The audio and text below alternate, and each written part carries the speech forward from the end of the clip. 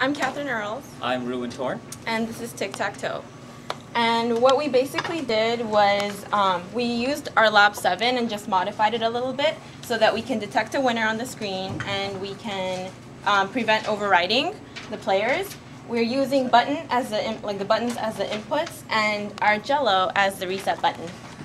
So So, uh, so you see, you can play just by pushing each button, and it'll automatically switch players. Um, and in this case, red is one, and because red won, we can reset the game now just by pressing the Jello. The the reset button works off this thing called the uh, this chip called the QT110, and uh, it converts it senses the capacitive change in the Jello, and converts that to a signal that outputs to our code.